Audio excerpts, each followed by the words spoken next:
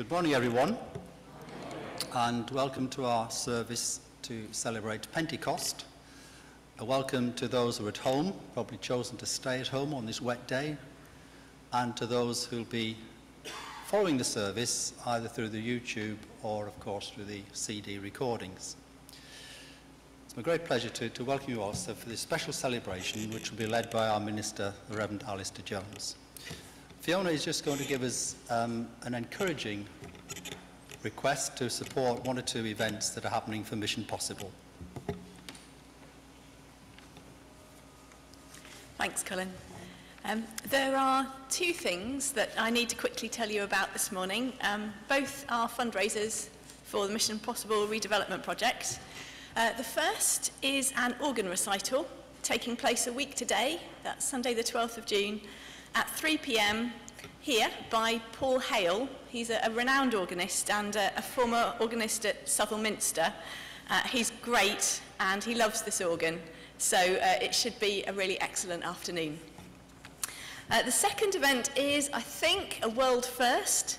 Um, we're holding a sponsored musicathon, which involves filling the church with music for 24 hours. Um, it will start on 10.30 10 uh, on Saturday the 21st of August and it will finish with the start of the service at 10.30 on Sunday the 22nd. Um, the church will be open for people to come and listen during Saturday morning and afternoon and early evening. And then overnight, people can have the building to themselves uh, to come and play or sing without an audience. There's a sign-up board in the coffee bar. Uh, you can sign up to play or sing for half-hour slots, or more than one if you like, and we're welcoming soloists, family and friends groups, and larger groups. Um, if you'd like to take part, please sign up and take a sponsor form from the envelope. And the achievement for sponsorship will be collective, so we're going to do this between us rather than individual. Uh, if playing or singing isn't your thing, you can still help. There are also sign-up sheets for serving refreshments at the coffee bar and for just being around. Um, we'll need someone on the front door during the day to welcome people and hand out programs. And at night, we need, should have a minimum of three people in the building for safeguarding reasons. I'll be here all the time. Um, And Aidan has promised to stay overnight as well, so we can keep playing between us, whatever happens. Um, what there isn't on the board is a sign-up sheet for sponsors, because I think it's better for people to keep their donations private. Um, but if you'd like to sponsor the event, please speak to someone taking part. They'll all have a sponsor form, or to me. Um, we're hoping to raise money through sponsorship, through um, audience donations, and also we're going to try and get some corporate sponsorship from local businesses. And it's going to be well published and publicised in local media to raise community awareness of what we're doing. So hopefully this will be a big one in terms of fundraising. Um, we've decided to specifically target the Musicathon to raise money for the organ, the restoration and modernisation, um, partly because it's easier to get corporate sponsorship for a specific thing, which is a community asset, um, and partly because we need to know what's happening with the organ before the architect can finalise the internal designs. So ideally we want to retain and overhaul the pipes, but have a new electronic console at ground level. and that's the ideal. But if we can't afford to do that and have a ground level console, then we'll need to retain access to the organ loft for the organist to use. And so obviously that affects the, the, the, how the design pans out. So that's, that's the logic for doing it that way. Thank you for your time.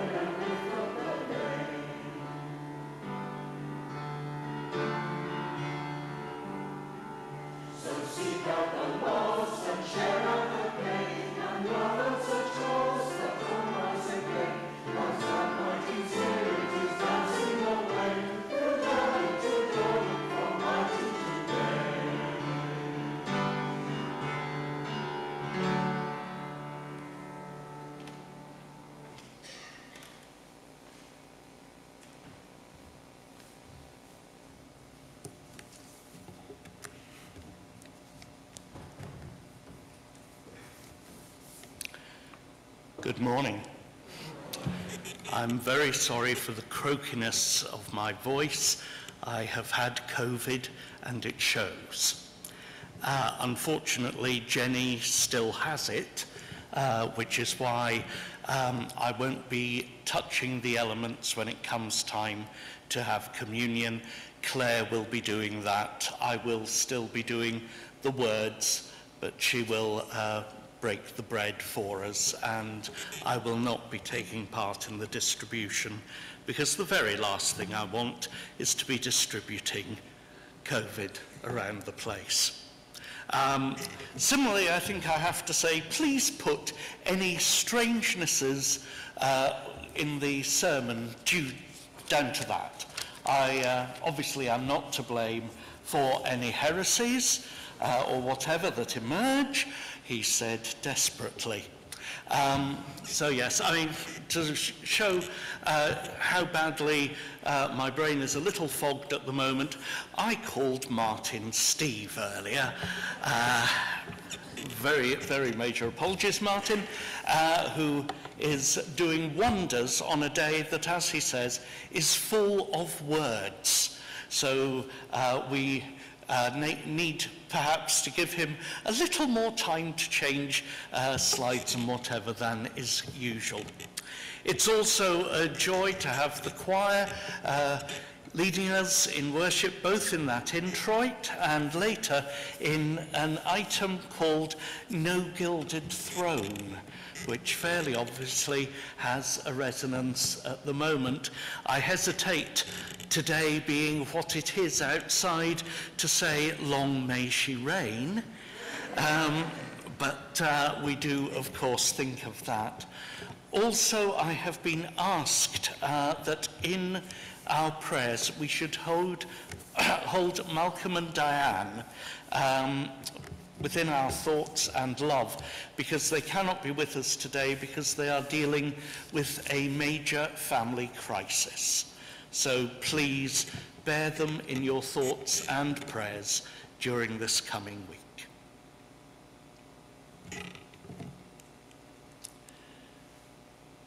God declares, I will pour out my spirit on all flesh. Then everyone who calls on the name of the Lord shall be saved. We sing hymn number 394, Spirit of God.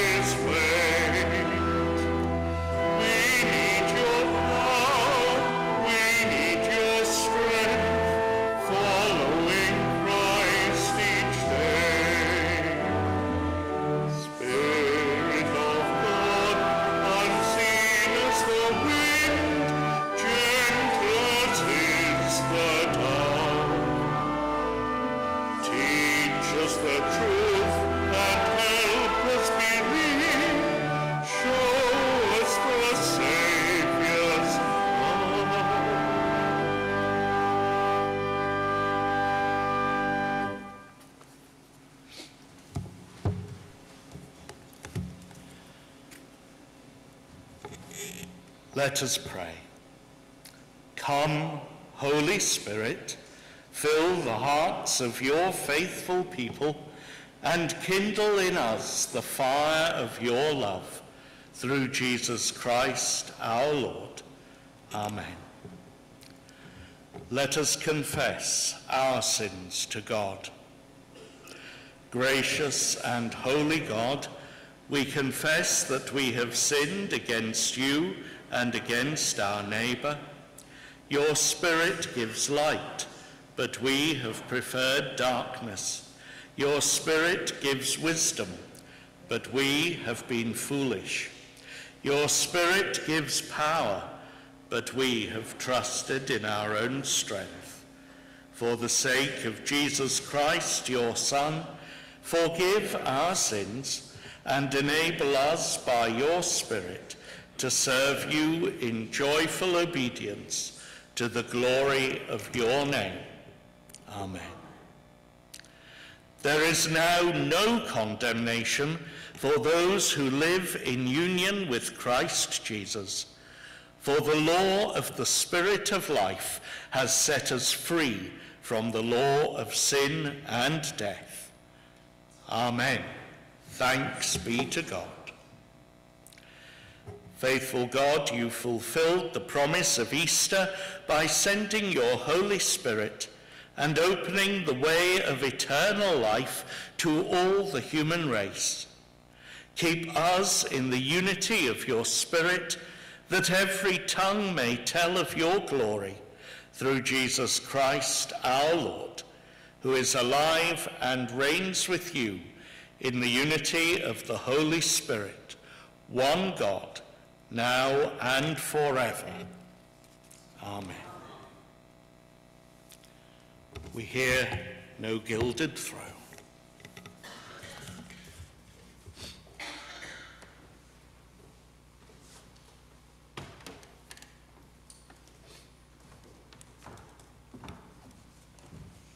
I'll just say a couple of words about the anthem. It was written especially for the Queen's Jubilee and is being sung by choirs across the Commonwealth today, which is why we're taking part.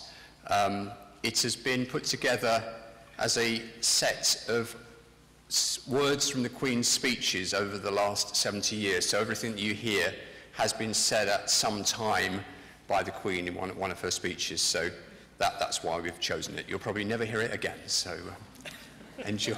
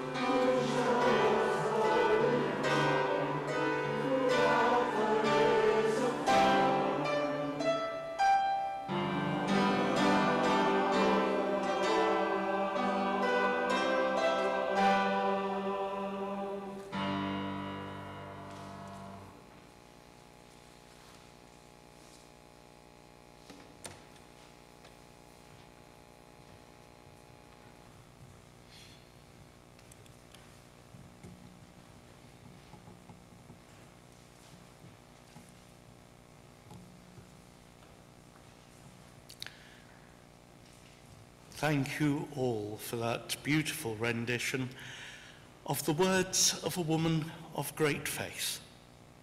Thank you.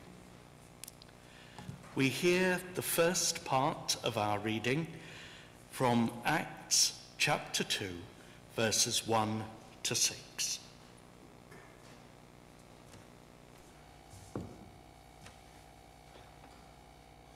When the day of Pentecost came, they were all together in one place.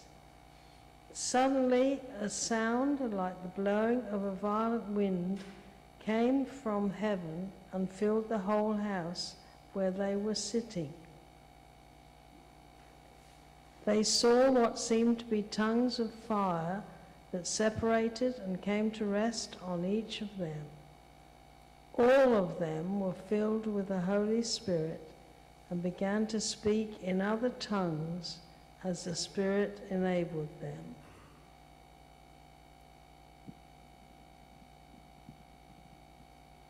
Now there were staying in Jerusalem God fearing Jews from every nation under heaven.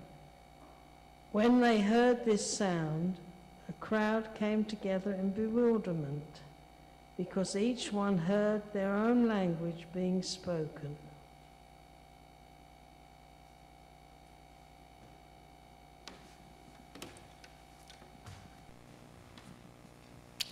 Now, of course, we frequently have heard down the years of the gift of tongues. Uh, though I speak in tongues of humans and of angels, and so on. But please note, this doesn't actually talk about a gift of tongues.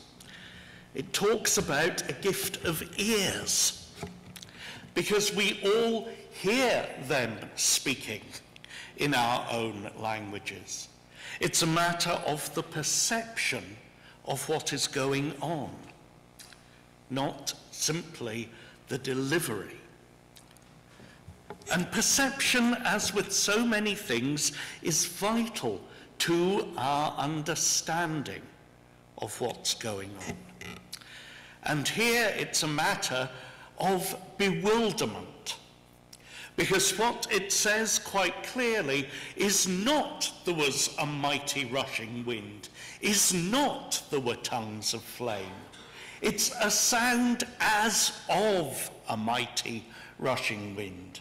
And there are things that look like tongues of flame flickering upon the heads of those disciples. They haven't the slightest idea what is going on. Even the participants in the midst of it all, touched by God in the presence of the Holy Spirit, have no idea what they are doing, no idea what they are seeing or hearing. And it's no great surprise, therefore, that the crowd listening to them are quite bewildered as well. Now, we know the list of countries, don't we? Where the people came from. I'm sure you can all recite it by memory. And if I had a map here, I'm sure you could all show me where Lycia and Pamphylia are. No? Because, of course, what is important is not the list of countries, is not the precise positioning of them on an ancient map of what we now call Turkey. It's a matter of the perception that here there are a mighty crowd and they are listening and they are starting to hear the wondrous words of God. They're having a gift of ears. They are hearing that which astounds them. But please note, the reception is not universal. Everybody isn't saying, we hear our language. Quite a few of them are saying, these fellas are drunk. You know? They've had the new wine. They're babbling incoherently. As ever, perception is everything. It's a matter really of what you are prepared to hear. Are you prepared to hear God's word? Are you prepared to hear it in the midst of a chaos of voices? Or do you simply perceive human gibberish? Now, of course, being good Methodists, we never have anyone under the influence, do we? No, no.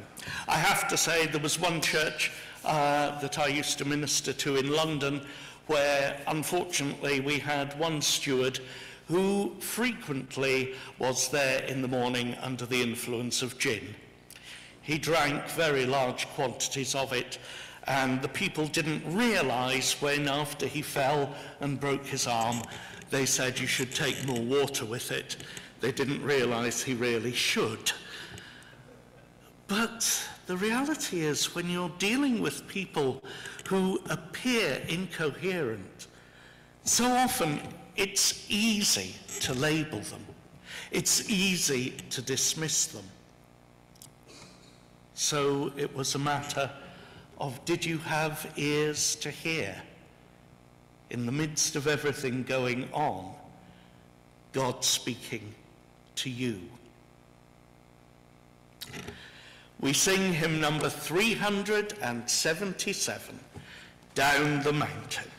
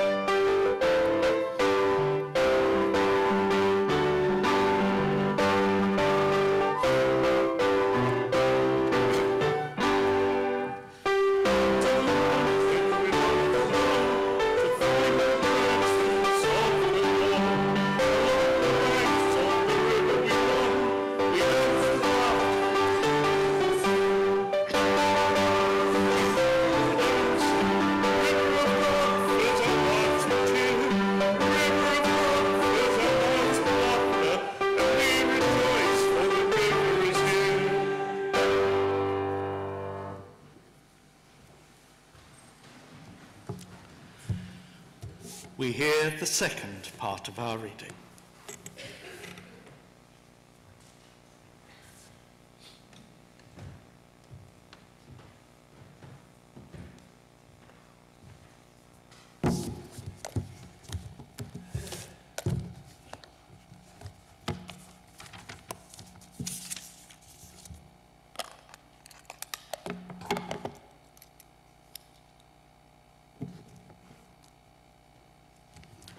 Amazed and perplexed, they asked one another, What does this mean?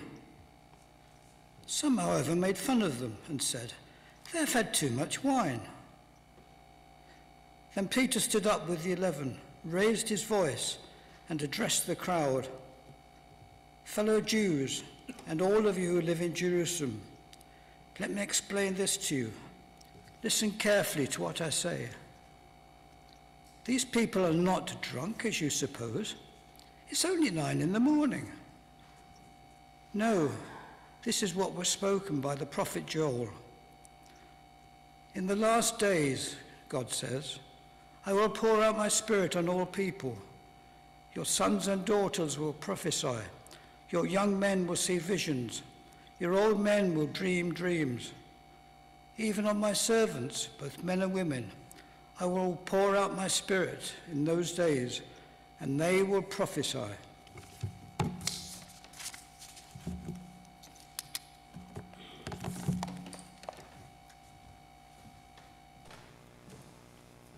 Thank you.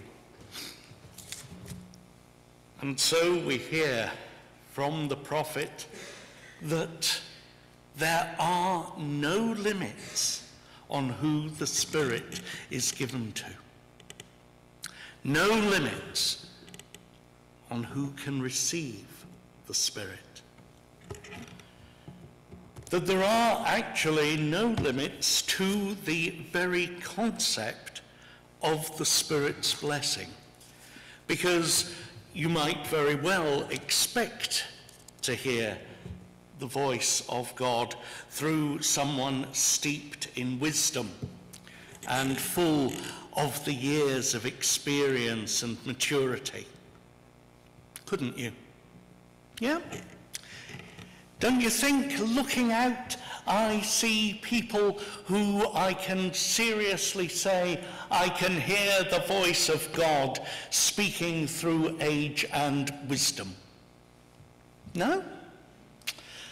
Of course I can. But am I also prepared to listen for it in the voices of those who will come in later, our junior church? Am I prepared to hear it in other languages? Am I prepared to hear it from people who I don't expect to hear it from? Because we are being told the Spirit of God has no limits. Just as we hear that the gift of ears is all important. We expect to hear God from some people. We expect to hear the Holy Spirit speaking through them. But if we are going to hear the full voice of God, we must be prepared to hear it from those we don't expect. We must be prepared to hear words that can enlighten us from whatever source. No, these people aren't drunk as you suppose. These people are full of the Spirit of God. They are anointed with God's holy power and wisdom. And I think it is truly important that we pray for the gift of ears that we pray that we may hear God's word in each and every voice that God sends.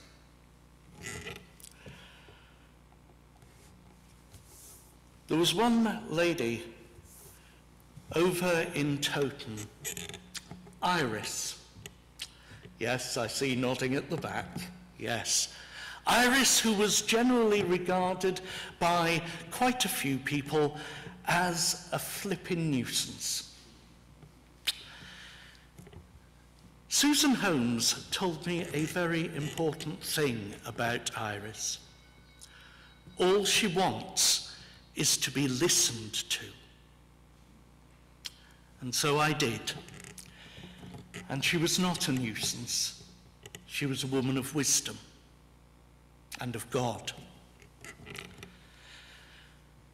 we need always to say, what is going on within this person?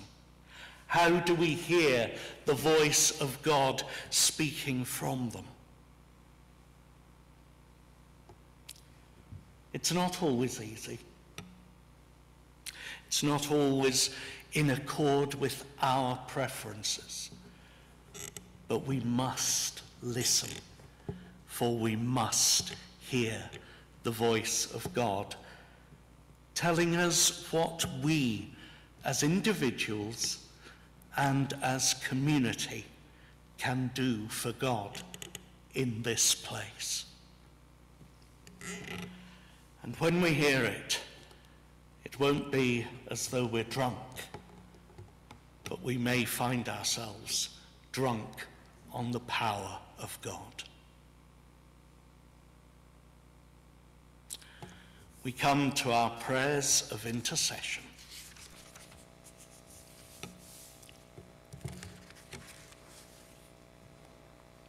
Gracious God, whose Spirit helps us in our weakness and guides us in our prayers, we pray for the church and for the world in the name of Jesus Christ. Renew the life and faith of the church. Strengthen our witness and make us one in Christ that all of those around us may hear your word, your word that goes beyond ours. Grant that we and all who confess that Christ is Lord may be faithful in your service and filled with the Spirit, that the world may be turned to you. Lord, in your mercy, hear our prayer. Guide the nations in the ways of justice, liberty, and peace, and help them to seek the unity and welfare of all people. We pray for all leaders within this world for those who lead even in the face of massive difficulty, in the face of war, in the face of crisis and agony. And we give thanks for the Queen and for all the work that she has done down these years. Give to all in authority wisdom to know and strength to do what is right. Lord, in your mercy, hear our prayer. Comfort those in sorrow, heal the sick in body or in mind, and deliver the oppressed and we do pray for Malcolm and Diane in their issue and all the work that will be needed to bring help and healing. Deliver each of us, we pray, from the crises we face. Grant us compassion for all who suffer and help us so to carry one another's burdens that we may fulfill the law of Christ. Lord, in your mercy, hear our prayer. Receive our thanks and praise for all who have served you faithfully here on earth, and especially those who have revealed to us your grace in Christ. May we and all your people share the life and joy of your kingdom through Jesus Christ our Lord. Amen. We are the body of Christ. In the one Spirit, we were all baptized into one body. Let us therefore keep the unity of the Spirit in the bond of peace. The peace of the Lord be always with you.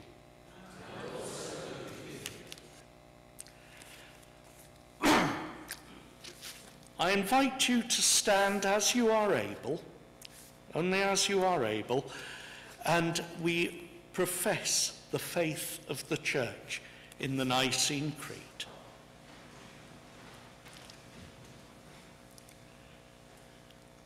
We believe in one God, the Father, the Almighty, maker of heaven and earth, of all that is seen and unseen. We believe in one Lord, Jesus Christ, the only Son of God, eternally begotten of the Father, God from God, light from light, true God from true God, begotten, not made, of one being with the Father. Through him all things were made. For us and for our salvation, he came down from heaven, was incarnate of the Holy Spirit and the Virgin Mary, and became truly human. For our sake he was crucified under Pontius Pilate. He suffered death and was buried. On the third day he rose again in accordance with the scriptures. He ascended into heaven and is seated at the right hand of the Father. He will come again in glory to judge the living and the dead, and his kingdom will have no end. We believe in the Holy Spirit, the Lord, the giver of life, who proceeds from the Father and the Son, who with the Father and the Son is worshipped and glorified, who has spoken through the prophets. We believe in one holy, Catholic, and apostolic church. We acknowledge one baptism for the forgiveness of sins. We look for the resurrection of the dead and the life of the world to come. Amen. Please be seated. I don't normally invite you to stand to uh, say the creed, but I think once in a while it helps to mark a difference. I don't know about you, but I do believe that we need edges of difference to actually give us deeper understanding. Recently, Jenny and I were involved in an online, well, the term is webinar, a seminar online. If ever people have been going around wasting their time inventing words, yes, and it was a matter of talking about ministers preserving their wellness. Again, another word, but there we go. And it was very obvious that the two people leading it had not the slightest idea who ministers were and what they did. Because partway through, one of them said, and you know, ritual is quite important. Yes, it is. Ritual is important and the edges of things where we start to understand God acting in different ways is vital. We sing hymn number 393, 393. She sits like a bird brooding on the waters.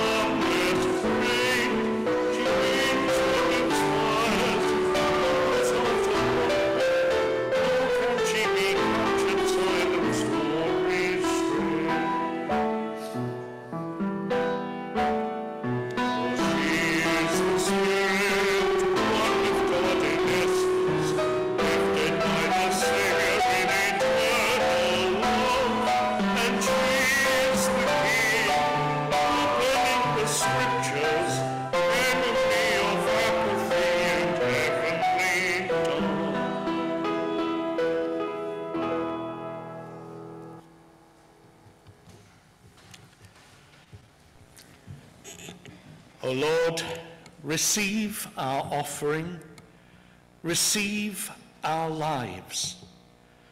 We pray that giver and gift alike may be blessed by you and used for your purpose within this, your world. Amen.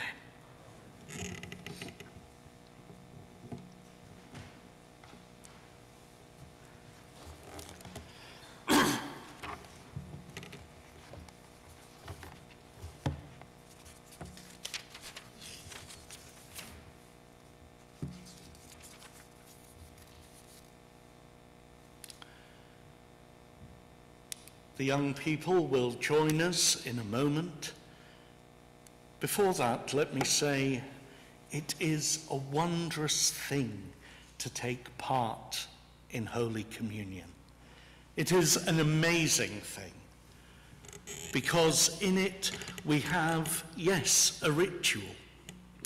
A ritual that has blessed the church for 2,000 years.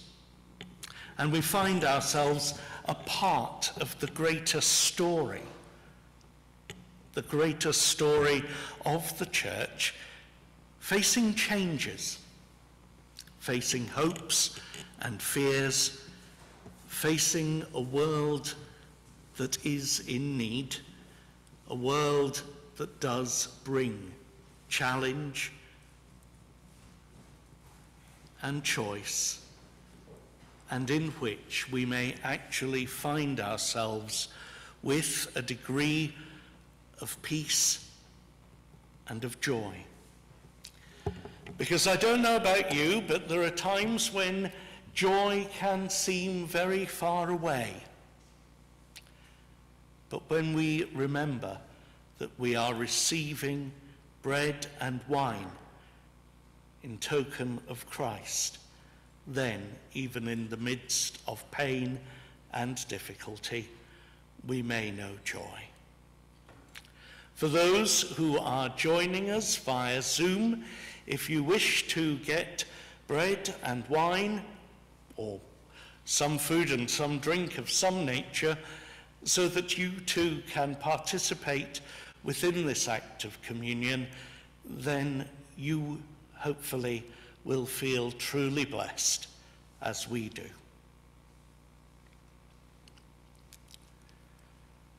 The Lord be with you.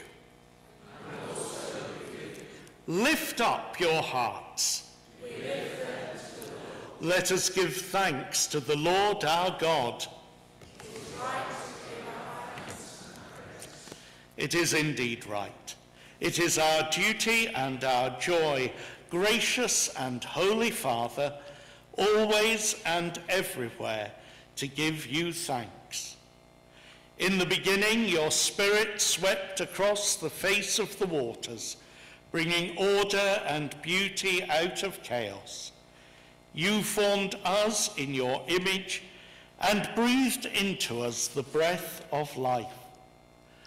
Though we turned away from you, your love remained steadfast and you sent your only Son, Jesus Christ, to be the Saviour of the world. At his baptism in the Jordan, he was anointed by your Spirit and revealed as your beloved Son. In the power of the Spirit, he was sent to proclaim good news to the poor, to proclaim release to the captives and recovery of sight to the blind, to set at liberty those who are oppressed, and to announce that the time has come when you would save your people. Sharing our human nature, he died on the cross. Raised again in glory, he lives forever to pray for us.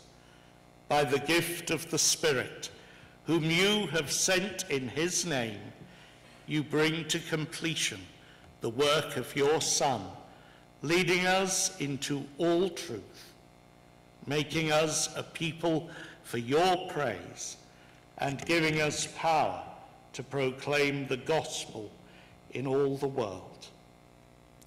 And so, with all the faithful of every time and place, we join with choirs of angels in the eternal hymn Holy, holy, holy Lord, God of power and might, heaven and earth are full of your glory. Hosanna in the highest. Blessed is he who comes in the name of the Lord. Hosanna in the highest. Would you like to remove the cloth?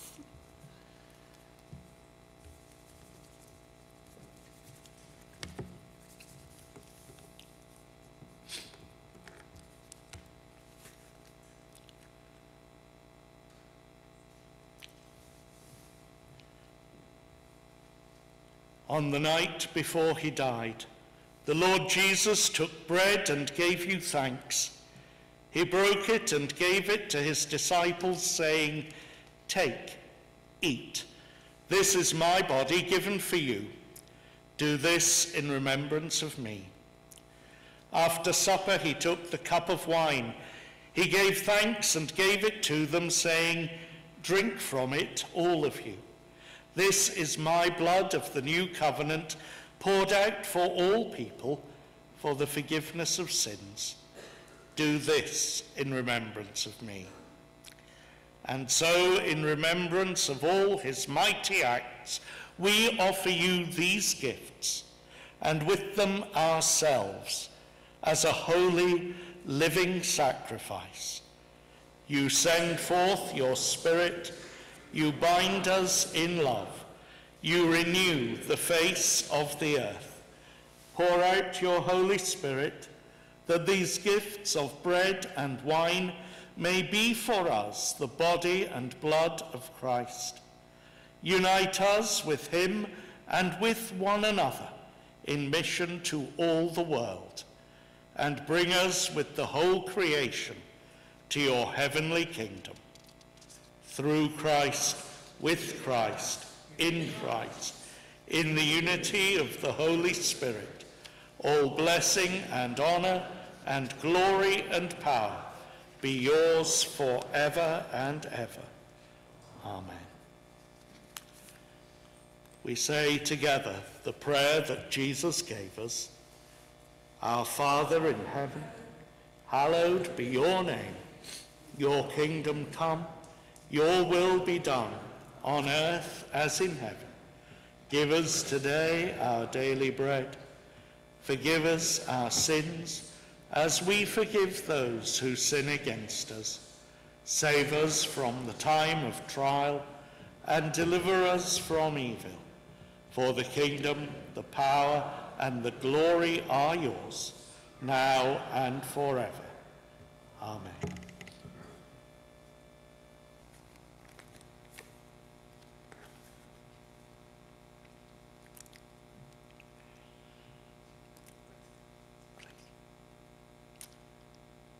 Alleluia. Christ, our Passover, is sacrificed for us. Therefore, let us keep the feast. Alleluia. As usual, when you are invited to come forward, please come in, we plan groups of 10 and do spread out across the whole of the front so that you may be served as swiftly and efficiently as is possible. We come with joy to meet our Lord. Receive the holy sacrament of the body and blood of Christ and feed on the Lamb of God with reverence and with faith. Would those who are distributing like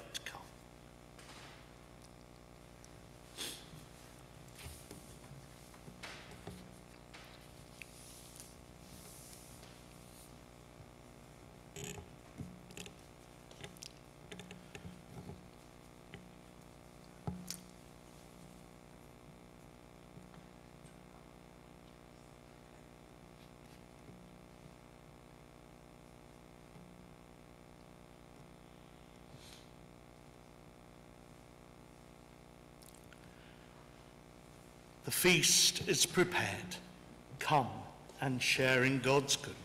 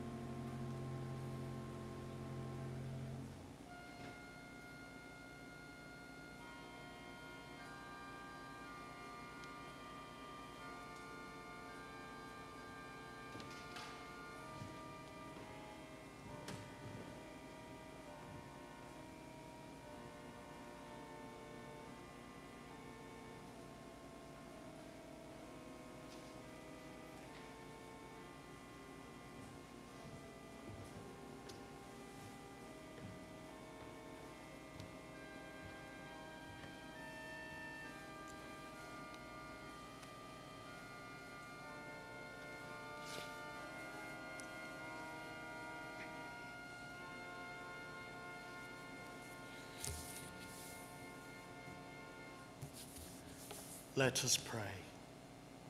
God of power, may the boldness of your Spirit transform us. May the gentleness of your Spirit lead us.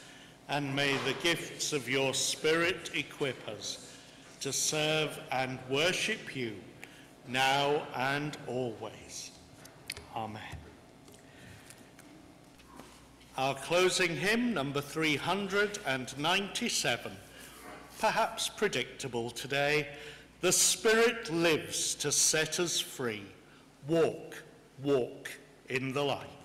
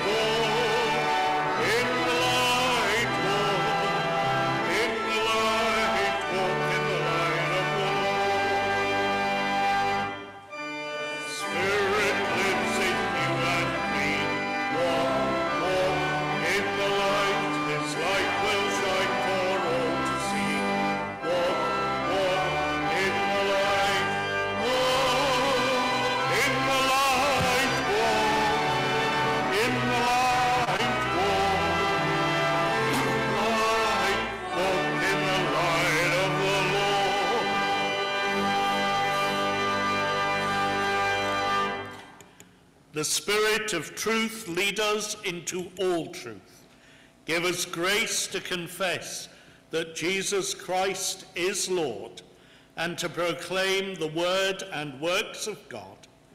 And the blessing of God, Spirit, Son, and Father, remain with us always. Amen.